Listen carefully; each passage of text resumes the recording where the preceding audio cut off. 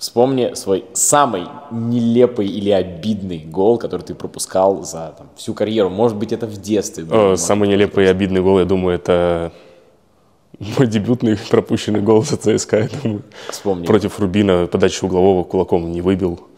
Прям в центр, и Жонатас добил, забил, и все. Что чувствовал после этого? Да ничего, там сразу же через две минуты еще один забили, так что не успел ничего почувствовать. В телеграм-канале розыгрыш перчаток одной из легенд сборной России Игоря Акинфеева от нашего партнера Фонбет. Вспомни свой самый обидный гол в футбольной карьере.